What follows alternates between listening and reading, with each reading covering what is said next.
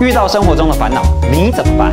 愤愤不平，他就上爆料公社，希望获得乡民们的支持嘛。